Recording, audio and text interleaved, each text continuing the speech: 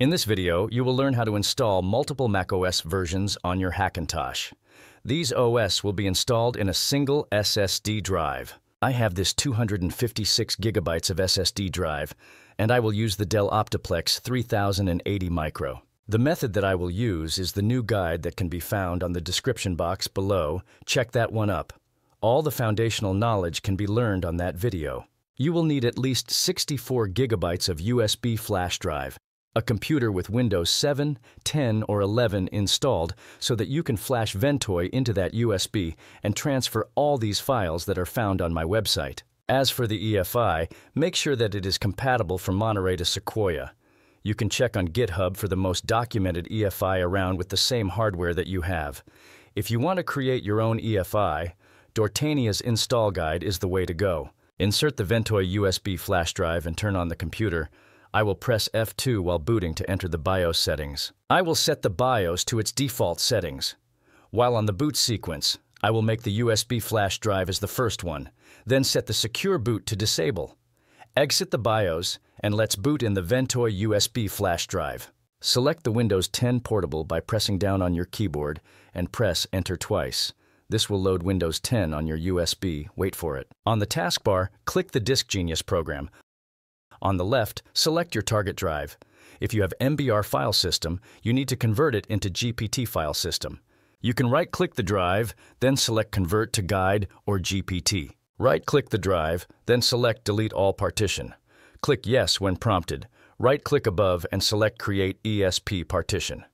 Uncheck Create MSR Partition, then click OK. Click the Save All button on the upper left, then click Yes when prompted. Double-click the ESP partition, open a File Explorer, and let's copy the EFI folder into the desktop. Go into the desktop and unzip the EFI folder. Drag the extracted EFI folder into that Disk Genius window. Click Yes when prompted and click the Complete button afterwards. Close the Disk Genius program. Locate the R Drive image program on your USB flash drive and install it. Go through the installation process on your screen and open it when prompted. Click the Restore button on your screen, then locate the RDR file. In this case, I will choose Monterey. Click the source above, then click the unallocated disk space below. Make sure you're targeting the correct drive if you have multiple drives on your computer. Click Next, then the Start button to initiate the restoration of that RDR file. This will take some few minutes. It will vary if you have a faster drive speed.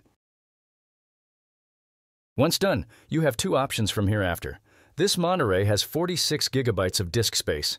If you want to have more space for this partition, you will need to boot into Monterey and expand the partition using Disk Utility. But if you're satisfied with 46 gigabyte disk space, you can proceed to restore the next RDR file.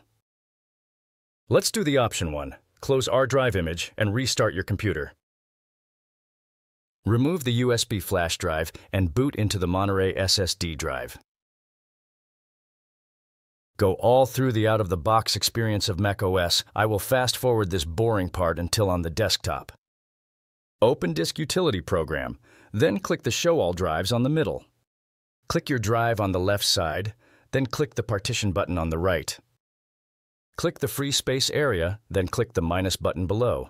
Then on the size portion, I will put 60 gigabytes. Click the Apply button afterwards.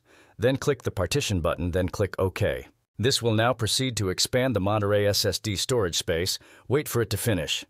Then restart your computer. Now after the restart, we need to boot again to the Ventoy USB flash drive and go into Windows 10 Portable. From here, install the R Drive image program, then the same procedure, restore the RDR file into the next untitled disk space. After successfully restoring the RDR file, the option one step ends from here. Again, if you want to expand the restored RDR image, which was Ventura, go back to option 1 and do the same process. You can refer to this timeline which the option 1 started. For the option 2, we will just restore every RDR file of your choice to the next unallocated disk space. Each RDR file has these restored disk space. Since I do only have 256 gigabytes of storage, I will not expand the storage space which was discussed a while ago in option 1. Now, I will restore the Sonoma RDR file, then restore this to the unallocated disk space available on my SSD. Once the restoration is done, just click the main menu, then click the Restore button. Repeat the restoration process until you are satisfied. Once done with all the steps, you can now reboot and remove the Ventoy USB flash drive. Now, if you've done it correctly and with a proper EFI configuration and BIOS settings, you will now be greeted with these variety of macOS. Now, the next thing that you will do is that to boot in every macOS version, set everything up, and you can now show them off. That's about it for this video. Feel free to comment down below to help the algorithm of this video reach those that may have interest on it. Thanks for watching and see you on the next one.